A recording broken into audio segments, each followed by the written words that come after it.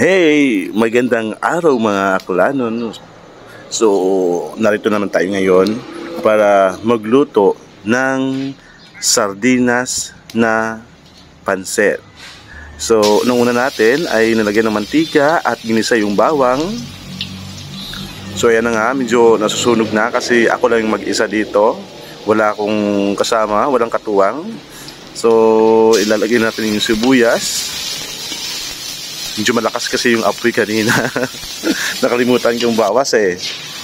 Ayan, nalagyan natin yung ano, yung sardinas. Yung sardinas natin is yung 555 na yellow. Pag dito yan binili sa ano, matindahan is 65 pesos. So ayan, medyo maanghang kasi yung ano, yung katamtaman kasi yung anghang ng yellow na sardinas. So, saktong-sakto para medyo walang lansa kaysa sa green na yan. So, halo-haloin lang natin para hindi siya masunog. At syempre, eh, kailangan natin ano yan, yung isda. Durug-durugin natin para maganda hiwalay. Then, lagyan ng konting toyo. Konting konti lang para hindi siya maalat halu-haluin natin kasi baka masunog na naman. So, ilagay na natin yung pinakaluang tubig kanina para mas mabilis. So, kita nyo, kumukulo na agad. Di ba? Yan yung mga hacks para mas mabilis maluto yung niluluto nating pansit. Eh, ayan, nilagyan na natin ng asin. Tapos, konting toyo para sakto yung lasa nilagyan din natin ng ano ng nor shrimp na dalawa para mas maganda kasi ito pag nilagyan ng shrimp flavor yung pansit. So nilagyan din natin ng pamintang durog. Hindi durog pino pala. So ayan. Medyo katamtamin nilagay natin para medyo andyan yung anghang and then yung mamasitas oyster sauce konti rin And then yung all seasoning ng Nor. So, konti na rin yung ilalagay natin para mas malasa siya. At nilagay na natin yung pansit natin. So, wala na siyang gulay. So, mas masarap kasi pag walang gulay yan. So, ayan, nilagay na natin. Tatlo yung ano, nilagay natin.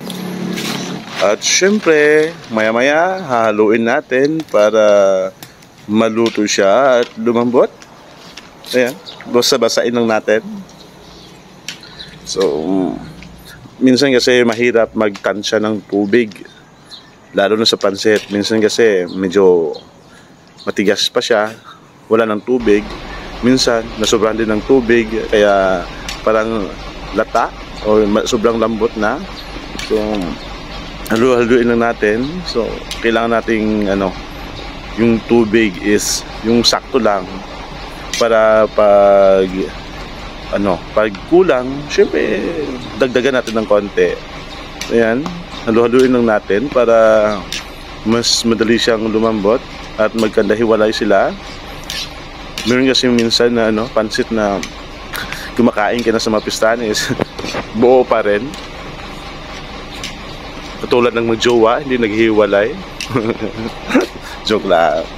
Ayan, haluloy lang natin. Para ano, manuot yung uh, panlasa natin na nilagay kanina. So yan nga, medyo malambot na rin siya. So as usual, ganun pa rin. Haluloy lang natin. Pagpatuloy lang natin yung ginagawa natin. Joke lang. So ayan, sige lang, halo-haloin. So medyo mahirap nga kasi parang sakit sa kamay. At medyo mainit, kailangan kasi ano, andyan ka talaga sa harap ng ano, apoy para halo-haluin para hindi siya masunog. Ayan nga, medyo luto na rin. So minsan kasi ano, akala natin luto na pero hindi pa rin pala yan pag wala ng tubig.